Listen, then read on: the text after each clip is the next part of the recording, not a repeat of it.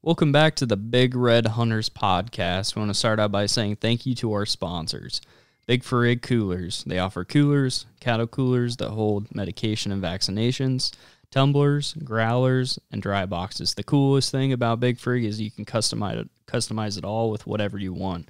Uh, check them out at bigfrig.com. And uh, if you have any questions, email at info at bigfrig. Our next one is Glory Visuals. They specialize in wedding and commercial films.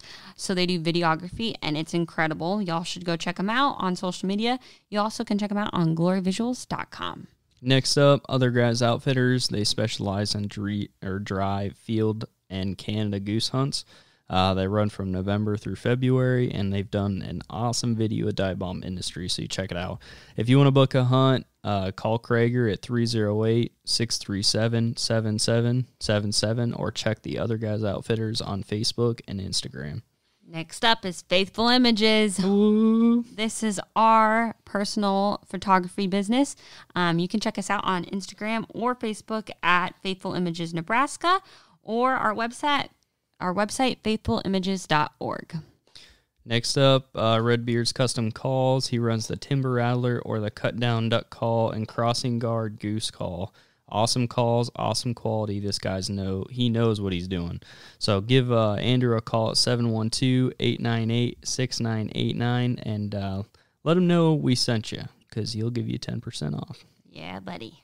All right. Next one is Chaco Peru, owned by Angelo.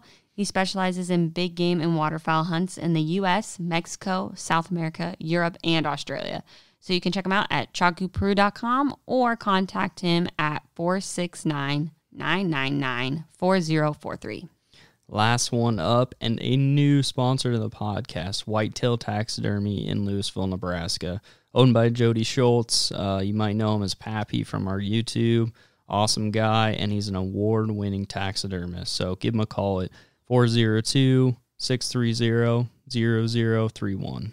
With that being said, those are our BRH podcast sponsors. We appreciate each and every one of them, and let's jump into the episode.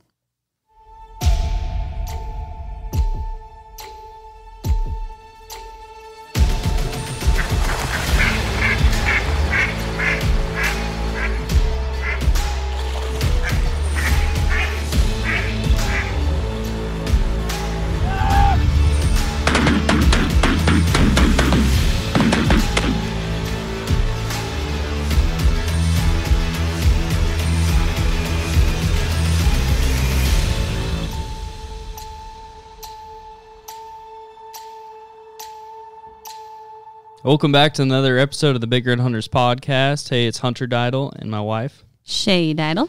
And uh, we just want to say thank you to start off with uh, taking the time out of your day to listen to this episode. Uh, before we kind of jump in the episode, I got some amazing news. Guess what it is, babe? What? I got another uh, hunt plan. Woo! A what? Another hunt plan.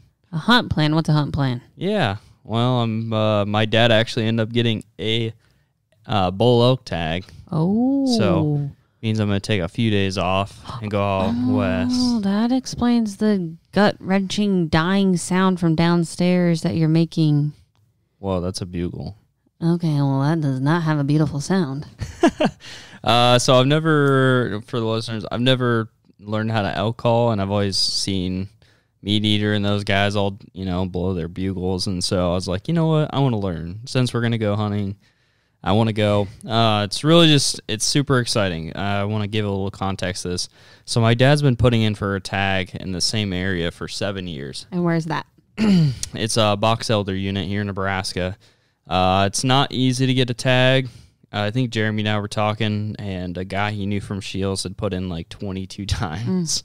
So the way Nebraska works is every time that you put in for a tag or each year and you don't get it, you get extra points. And the more points you have, the more preference you had of getting a tag. So most on the average, people get them between year five and year 10, just depending on who you are and mm-hmm. how lucky you are. But my it's always been my dad's dream to go elk hunting. Right. So it's really it's not only a dream for him, but it, it's going to be a dream come true for me too. Just being able to go help him go shoot one, go find one, and do all that stuff. I've never we we big game hunted when I was a kid, but ever since I really went to college, we haven't really big game hunt that much together.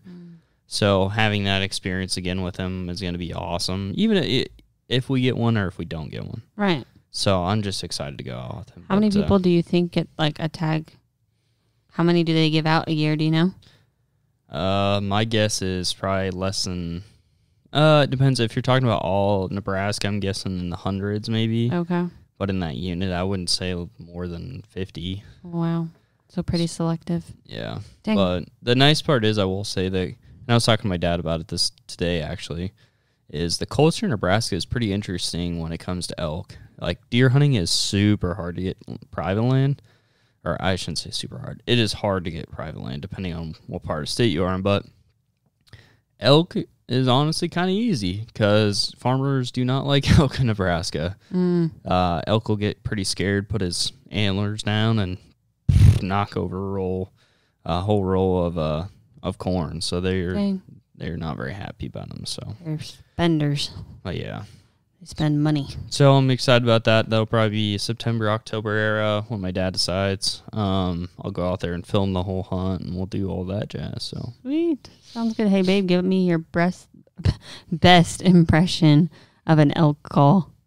Do it. that sounds like a I'm just kidding. I can't get that screech down. dinosaur. And uh, I am T Rex. All Oh my gosh. We just had to have a podcast on But, uh, animal sounds. right, babe. Let's jump us into the episode. All right. So, what's up, BRH Nation? Today, we're going to talk about the seven early season essentials to waterfowl hunting. Um, some of these items, honestly, you could use for other hunts, but we're really going to focus more on waterfowl today. So, I'm going to read off the seven essential things one by one, and my lovely husband is going to discuss them with me. So, the first one we have is dermal, please. Mosquito repellent. I would have never guessed. Surprise, Shoddy. But honey, what is so important about mosquito repellent? Okay, this is definitely going to be one of the comfort things. Right. Uh, mosquitoes, especially early season, September, October, are nasty. Terrible. Um, so God talking awful. about just kind of preface this a little bit here in Nebraska. Majority of what you're going to be hunting early season is going to be shallow water marshes. right. Well, where do mosquitoes do the best at? Shallow water marshes Right. or unmoving bodies of water. So it's warm, it's wet, Oh, perfect breeding grounds for mosquitoes. Uh, definitely during teal You- season. do you do you remember a couple Oh, few yeah. years ago? I'm thinking it right now. So we hunted this river bottom. It, the river had basically just it. It was the Missouri back when it had flooded out. Well, it flooded in this field, and there was uh, thousands of teal out there. It was Right. incredible. It was so cool. um, but the hard part was the mosquitoes. Oh. During the day weren't too bad. I felt like a snack to them. Quite So- literally. We went out in the evening time. Shay actually shot her first teal that day, so that was awesome. And I I specifically remember this. We got on with the hunt. We kind of started picking up decoys, and I just Oh heard my this like Gosh. buzzing. It sounded like a swarm of something. And I, I look over and I ask like, uh, what is that? And he's he's like, uh, that was all the mosquitoes like getting up, and we like took Ran. off, and Like, it was like It was every like man for himself. Swarm of them. I remember getting out of there and we came home and we were competing who had the most bug bites and someone got up to like 20 something. It was so Yeah. bad. I actually you got higher than that. I think I had 20 something. Yeah. You had 30 something. Yeah, it was incredible. So, learning from that experience, mosquito repellent. Um, there's, there's two different parts here. So you can actually have the spray on stuff. I to somewhat think that's effective. The hard part is when you spray it on you and then get in the water or you get water on you, then it goes away. Uh, the biggest one for us is Thermacells. Right. So Thermacells is not only helpful in early season deer, but also early season waterfowl.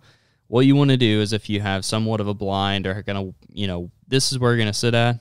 What you want to do is get there, get it turned on. That's one of the first things you want to do is get on and sit down and get it going because it takes a few minutes for that thermostat to really kick in. Right.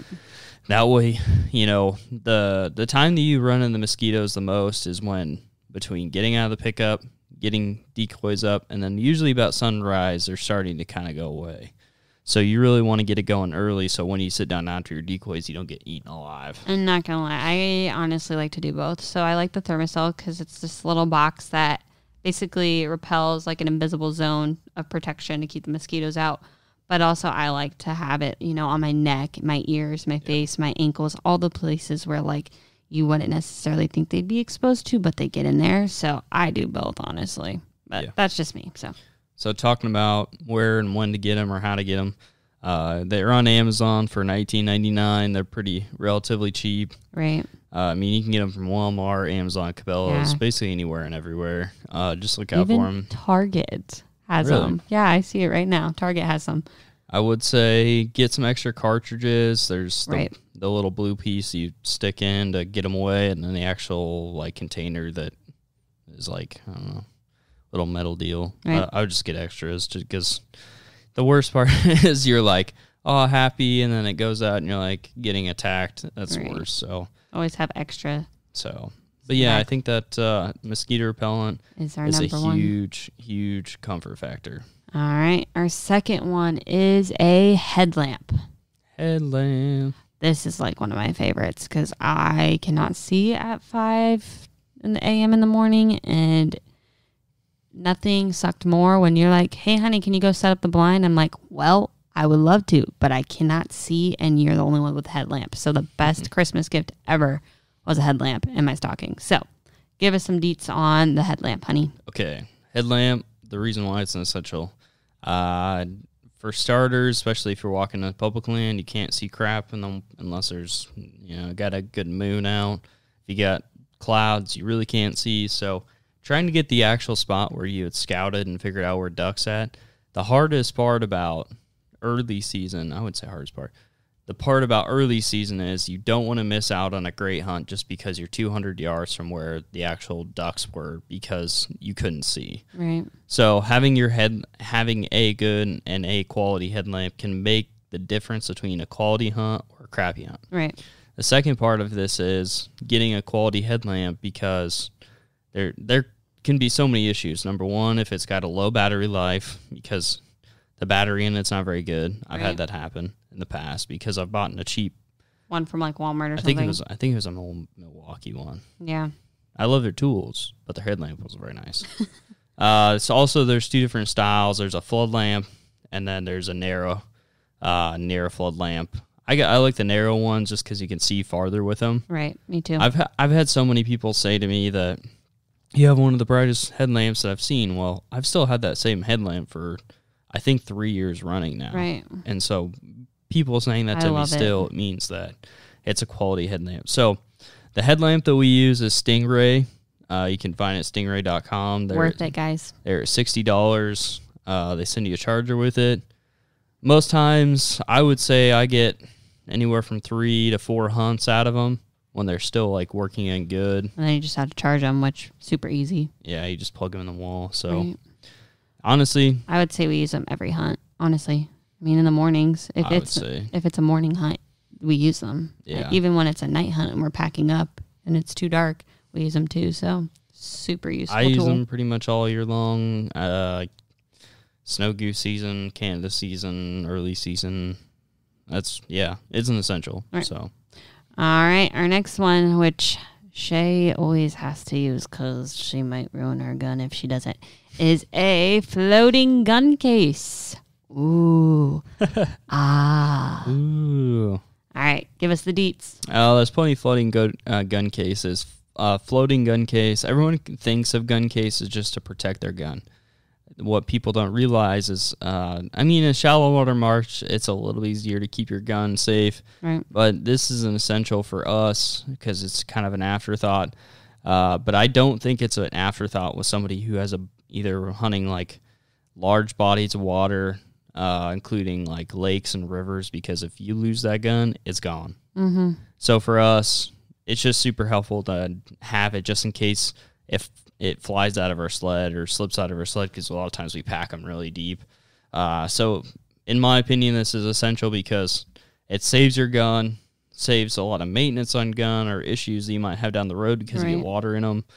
Um, and also just overall, it's just safety. It's nice to be able to just an afterthought if it does fall in. Okay, it's floating. Cool. We're Well, good to go. and if you have someone like me who's five four, I remember there's, I mean, some places where we hunt where there's water up to my belly button, and I have to hold my gun over my head, and I'm so terrified that I drop it in the water. And ever since we got the waterproof case, I'm like, okay, well, I mean, if it happens, it happens, but Yeah. I don't feel as bad. Or if all, I mean, there was a situation where you need me to grab something, and I just threw it on my back, and yeah, it was floating on the water, but I knew it would be fine. So I think it was super nice to not have to really worry about water getting in there, let alone it just floats. So for us on the floating gun cases, the one I came up with, you can find them in a lot of places. I So know, many. I know Dive Bomb came out some that are kind of cool. Uh, the ones that we have, I think Shay's got a hardcore one that I bought quite a while ago. Mm-hmm. Uh, the one that I have is a Tangle Free. Yep. I do really like the Tangle Frees, and I'll tell you why.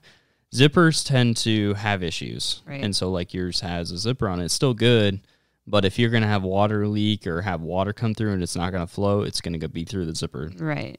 So the tangle free one actually, it goes to the end and then it folds over and then you snap it. So that whole backside is completely covered. Right. That way, you know, you're not gonna be worrying about water getting in there. Right. And I like to slip my gun out of. I think it it's not such a pain, but that's just me. Right. Uh so tangle free. They do have a sale going on right now for a couple of colors uh, for 35 let's see 35.99 so 36 bucks that's really cheap That's amazing. 36 bucks for a peace of mind i think that's well worth it Right. uh, now if you're like me you like sitka they do have optifade ones uh, they're 60 60 bucks so Right. So honestly i think is a great investment you know we did a podcast i think it was episode seven or eight so you get what you pay for i think a lot of these you get what you pay for Right. and i think that's one that is a peace of mind that you should really think about investing right. I agree. All right. So speaking of the gear sled that you're talking about, that sometimes we pack our guns in. That's another one. So that's our fourth item that we think is essential. So give me some deets on the gear sled. okay so a gear sled looks like a mini boat a mini Literally. flat mini flat bottom boat it's plastic uh the there's two there's two th- thoughts I've had on this. You've got go as big as you can. Now we can carry the most gear, or it can go really small. Now my buddy Jordan from the Good Life Outdoorsman. If you're looking for some more good content, he has a lot of good fishing content, hunting content. Check out his YouTube. Uh, he actually did this like tiny one. I'm talking like I would say like a little over a foot by a foot. It's small. He packs like maybe a dozen and a half decoys, throws his gun and his blind bag on his back.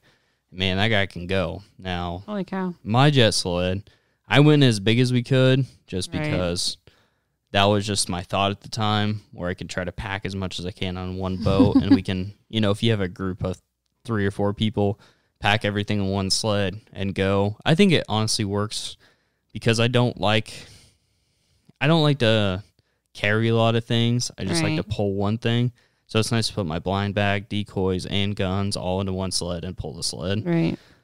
Plus, I mean, in the situation where you're actually in water that's deep enough for a sled, it's actually really nice because the it just water, water does most of the work. Yeah. Um, so that's just kind of the two thought process. The one that I've got is a Shappell jet sled. You can get it from Cabela's for like 65 bucks. Yeah. There are cheaper ones. This is just something you find what you can find and make it work. I Yeah. Nothing real special about a jet sled. Yeah, there's a few. Cabela's, Bass Pro Shop, Sportsman's Guide. There's all sorts of kinds, even Amazon. So Yeah. that's a good one. I like that one. I wish it had me float in it that he can just carry me too.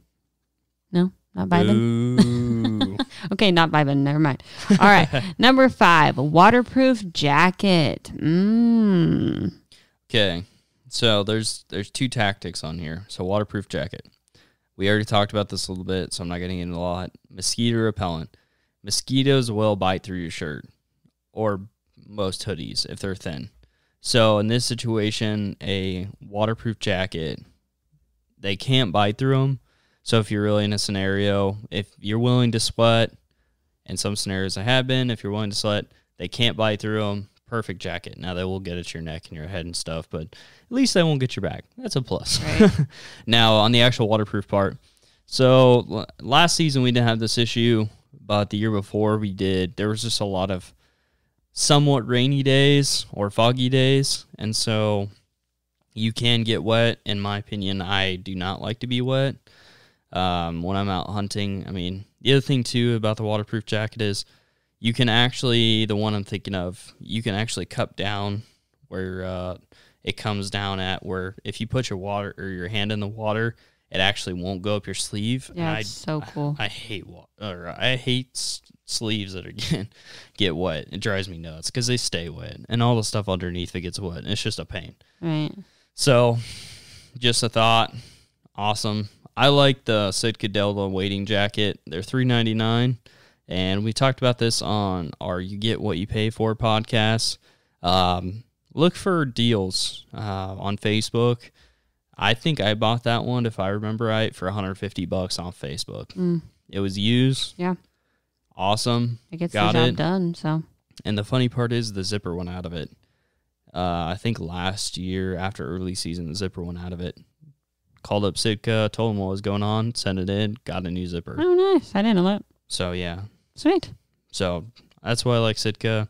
That's why I like their de- Delta wading jacket because you can cinch down the where your uh, where the sleeve comes down. So that's a big plus. Again, we're not sponsored by Sitka, but we really enjoy their gear. So, But yeah, all right, we're getting close to our last two. So we have for our next one, number six, motion decoys. Hmm. so early season. Lots of decoys, I feel like, is just essential, but motion decoys, I can see being really essential. So early season, uh, early season motion decoys are, in my opinion, the most effective, especially teal. So bluewing teal uh, depends on the year, but majority of years their kill off ratio is forty percent. What do I mean by that? Forty percent of their population dies each year between their migration through getting shot at and then migrating back. They're just big targets for everything coyotes, hawks, foxes, everything wants to eat a teal because they're small. And in my opinion, they're pretty tasty teal poppers. So teal are because uh, you know forty percent of your population that is migrating south is a first year bird that's never seen anything that's motion or in any way moves. They don't. They never seen decoys, so they tend to be. I wouldn't say dumb, but they come right in when they see them. uh, that in that case as well. When you get into October and early season, most of those ducks are young ducks that are migrating the first time, and so in that situation, they've never really seen decoys or any of that stuff. So they're they're more effective now. Late season, Right. I don't use them as much, just because older ducks have seen stuff like that, so they know what's going on. So. Makes sense. Uh, in my opinion, I've I've used both Lucky Duck and Mojo. Everybody's got their kind of way they they like to go either way depending on what brands, kind of Ford and Chevy kind of deal. I personally like Lucky Duck. I've got a couple of them. I've had issues. They've provided great customer service. I've got there's the Lucky Duck HD on their website's listed as 109. I get it from I think you can get Mojo at Cabela's, and then you can get Lucky Duck at Scheels. Um, they're they're really nice. I personally do not like the double A battery um, spinners because it's just a pain to have it. double A batteries, and they only last for they say twelve or something hours, but you just don't think about it. Whereas if you have a replacement, just plug-in battery, not a replacement, just a rechargeable battery you You think about it every hunt. It's like, hey, I need Right. to charge my spinners. So Right. The next step is for me. I personally took this step because it's a quality deal. They do have the waterproof HD, which is two nineteen. The nice part about that is if you dump it in the water, which I have, you, you're covered. They don't go bad. So the whole casing itself, where all the electronics is, is waterproof. Now I will say I've dumped my regular HD in the water, and I opened it up last year because I was having a lot of issues, and go to find out the circuit bro- cir- circuit board was fried because it went in the water too. I think it had been in the wa- or dumped in the water for like five or ten minutes, like five times. Oh. But you can buy a new circuit board and all that jazz. I think it was like twenty bucks. Uh, the customer service guy from Lucky Duck was fantastic. Walked me through the steps, made it easy. Got got another one ordered, got it done by the next weekend. So um, that's what I. If you're looking for motion decoys, I'd look at Lucky Duck, but I'm not Sweet. sponsored by them. Just saying that. Sweet. I like that. All right. We're down to our final one.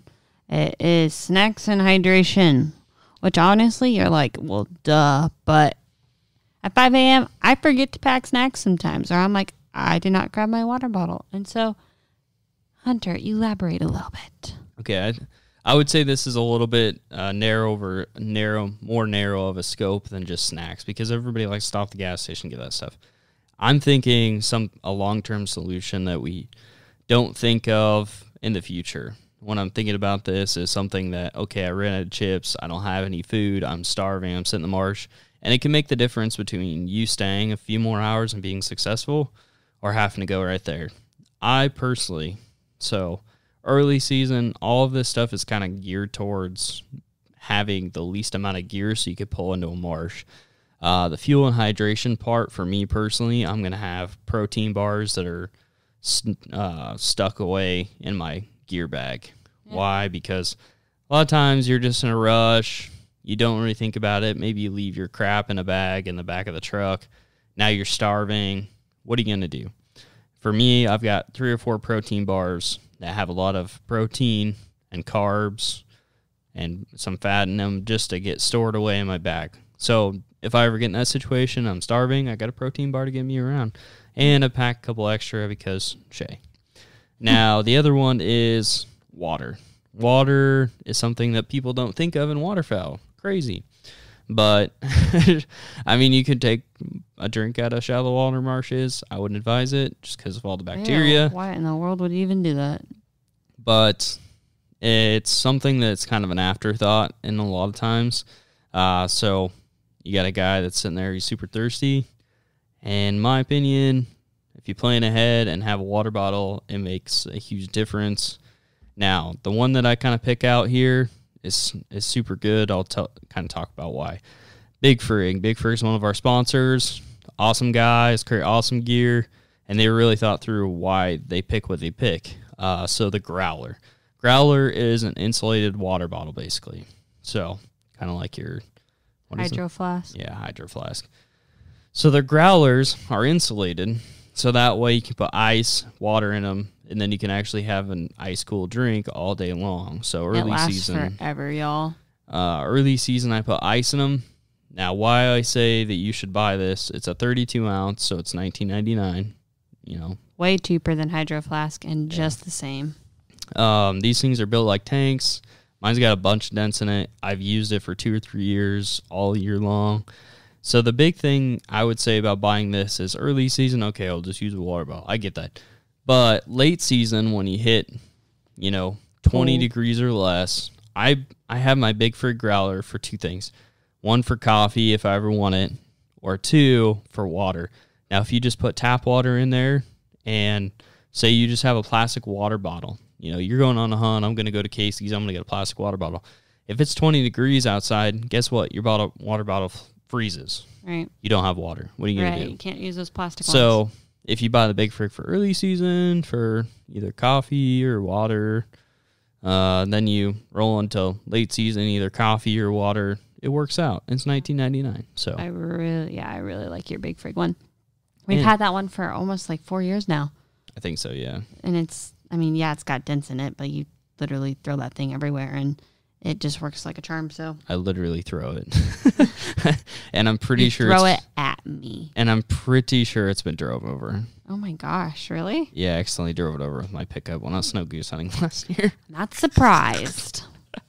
oh man. All right. Uh. So we have our seven early season essentials. You got your mosquito repellent, your gear sled, your motion decoys, floating gun case, headlamp, fuel hydration, um, fuelings and hydration, and then your waterproof jacket. Um, obviously, the list could go on and on. It was really hard for us to actually limit it down, um, but we really think that these are the, the most essential, especially when it's starting early seasons, warm, you're in water, and you need these few items.